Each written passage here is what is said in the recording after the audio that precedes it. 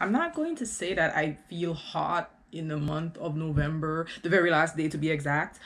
But I feel kind of, we almost sweated over here, but you know, we're gonna do this anyways.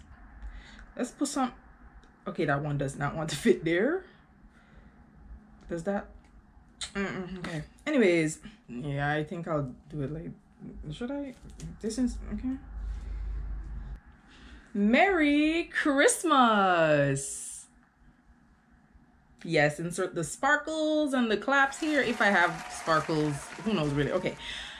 Today, I will be reading a story for you called Amy Winetown's Joyful Christmas. There will be two plot twists, one with the story and something else, but hopefully you'll be able to figure it out before I say anything. But one plot twist I can tell you right now is the fact that this is the last day of November, I guess. But the other one, you have to figure that out yourself. Let's get right into the story. Okay, put that there and go.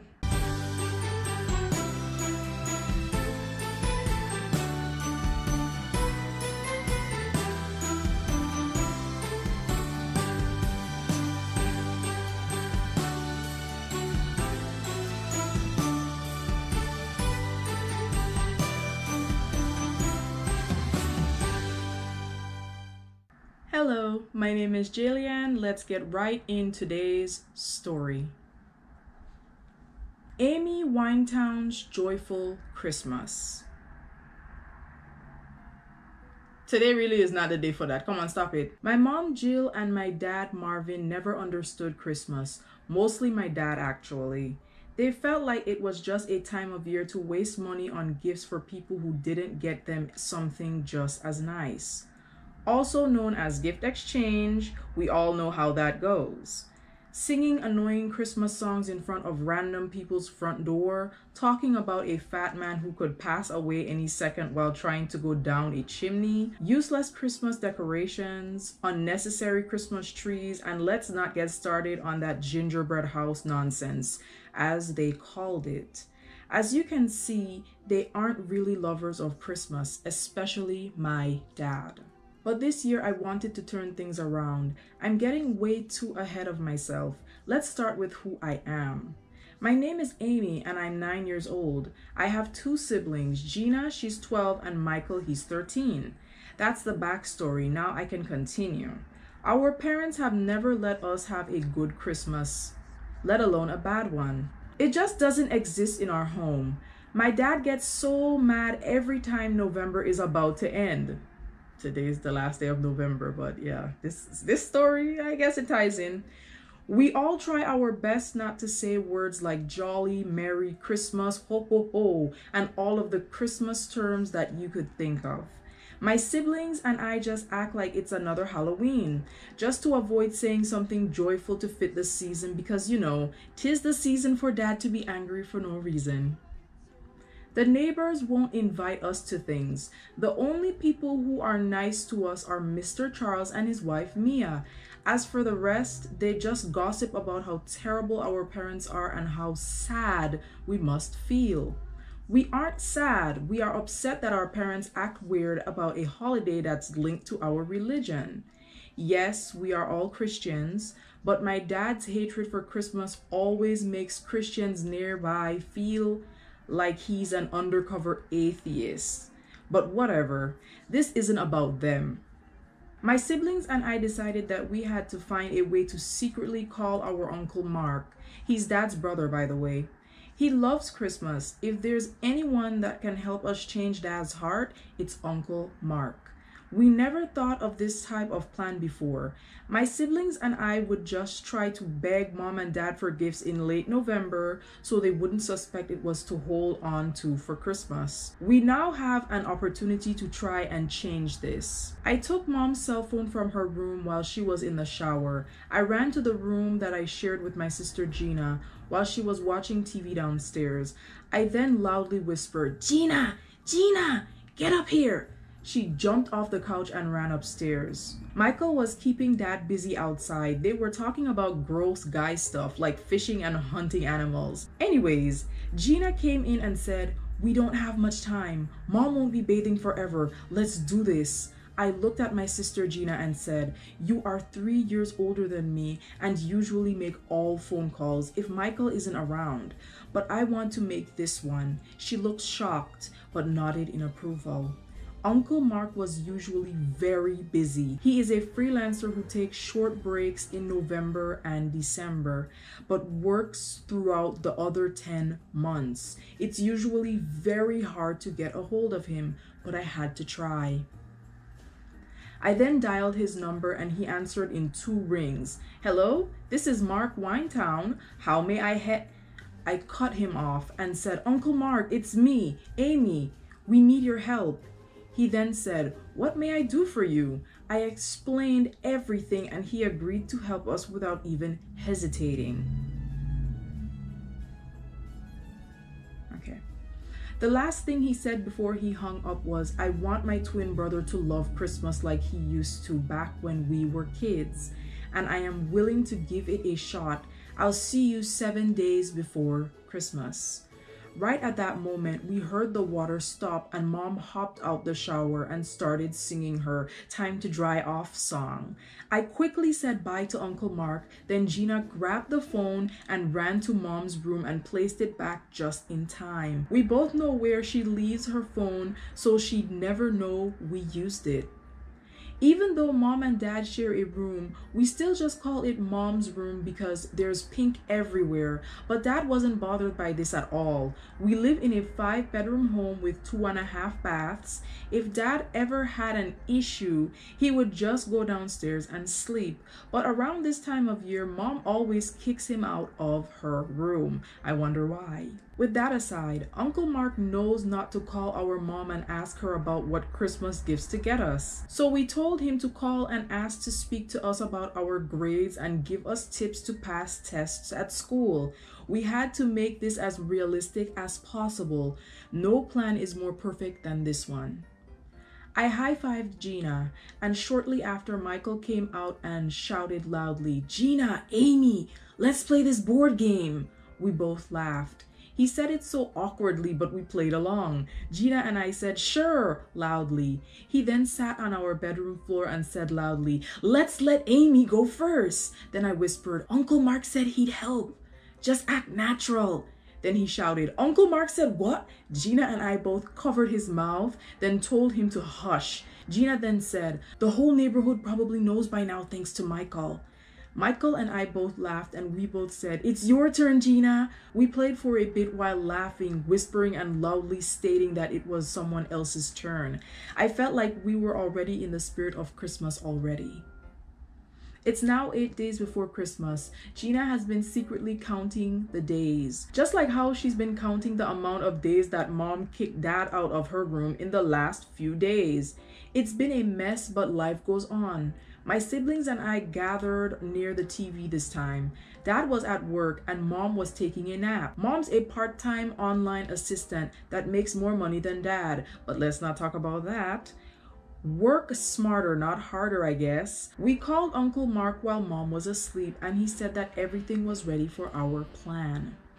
He bought a white beard, gifts for everyone, and a Santa like costume with a twist. He told us that he'd be staying by our neighbor Mr. Charles and his wife Mia, who lived two minutes up the road. We knew he couldn't just get all of that stuff and show up on our doorstep like a lost puppy.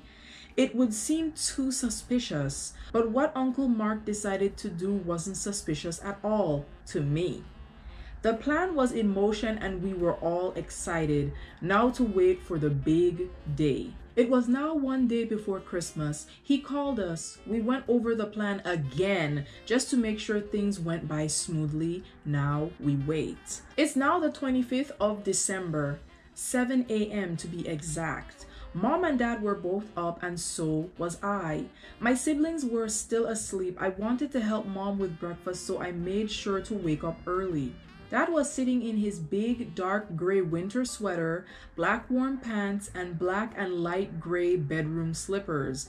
He looked so cozy and relaxed. I hoped that he would stay this way for the rest of December.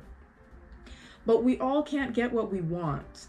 My mom and I placed the delicious food around the table, and then she asked if my siblings would be okay waking up this early. I nodded, then said, Nobody likes waking up before 9 in this house, but they'll be okay. Then I ran upstairs to wake Gina. We then both ran downstairs to wake Michael. He's a heavy sleeper, but we managed to wake him up after 10 seconds of tickles. We all gathered around the table and started to eat. The food was amazing. Waking up to help mom was worth it. Halfway through my meal, we all heard a knock at the door.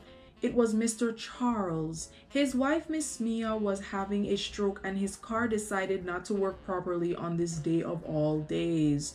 My dad, mom, and all of us dashed out of the house. My dad started his car without a word and drove right up to Mr. Charles's driveway. Then he shouted, Let's get her to the hospital. Charles ran to our dad's car and said, What about the kids? We all can't fit in this car. What do we do? Mr. Charles and Mia had two daughters, Erica and Eva. They were both nine years old like me. My dad had three kids and there were four adults. Nine people couldn't fit in a car that holds only five people. Mr. Charles began to think. Then he ran to his garage, opened it, then started up his white bus. He then said, I was so worried that I forgot I had this bus that worked. My dad jumped out of his car and told Mr. Charles, I'll drive. Mr. Charles didn't even disagree. Our Christmas was ruined. But at least Mr. Charles's wife Mia will be okay. We all got to the hospital and Mr. Charles told my dad, I'll take it from here. Please stay with your family and my daughters. I'll call you if anything bad happens. Mia didn't really look like she had a stroke, but what would I know? I can't even spell stroke. But that's besides the point. They went in and stayed for some time. We stayed warm and toasty in the bus. Mom and dad were stressed out while all of the kids and I were playing with cards that were found in Mr. Charles's bus. I looked at dad and mom and dad said, Should I go in? Then mom said, It has been 16 minutes.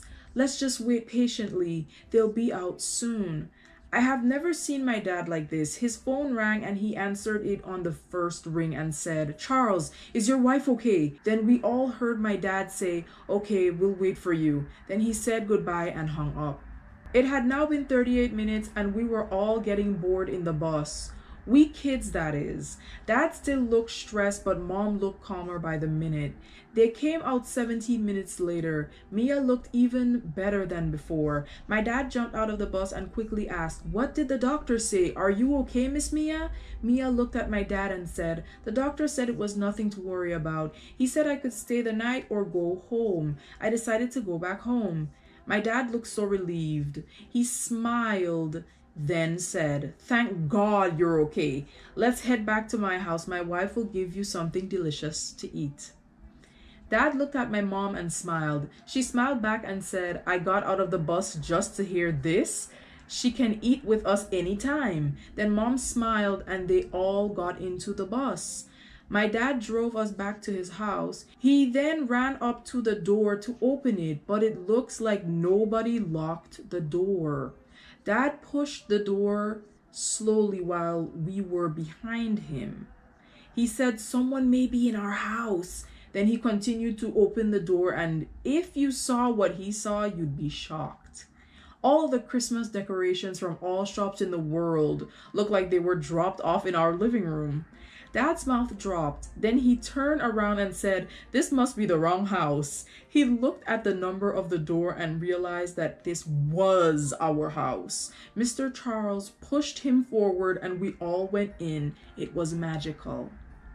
We had a tree and there were gifts underneath the tree. There was Christmas decor everywhere. Then dad said, they could have just stole everything. Why'd they leave this stuff here? Everyone laughed. Then Uncle Mark popped out from behind our couch. He was in his Santa costume and Dad panicked.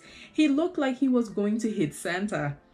Then Uncle Mark removed the beard and said, It's me, it's me. Then he put his fist down and calmed down. My dad looked at him and said, Mark, why are you here? What's all this stuff? Mia just got a stroke.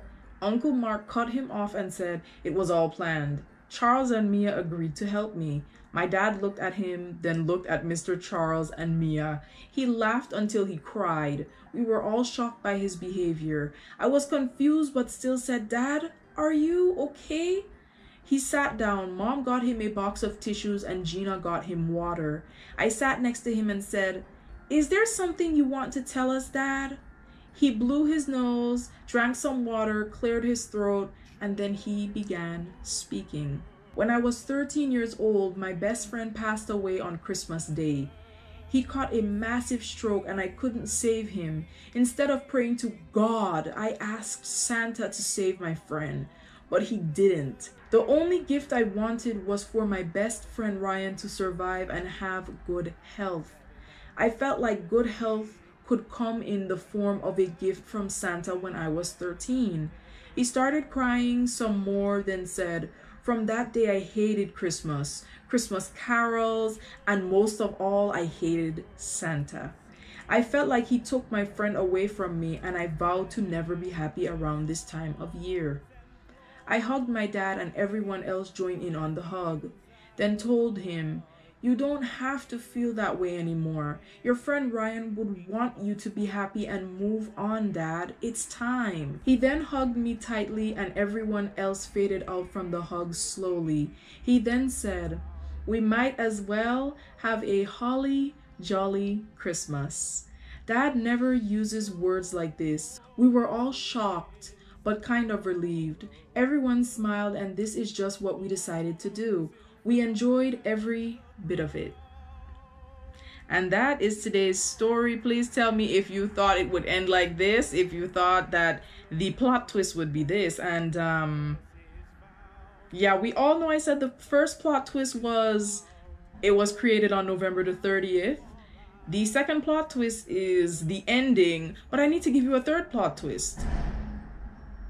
That is not a part of that that's not a part of it okay? The third plot twist is that i am the creator of this story because i went online could not find one and i was like you know what? I'll create a story myself. So tell me how i did down below. If you made it this far please subscribe. If you need more time here are two videos for you to check out. No pressure. And with that said don't be too problematic. Be as polite as possible. I'll ho ho hold you next time. Bye.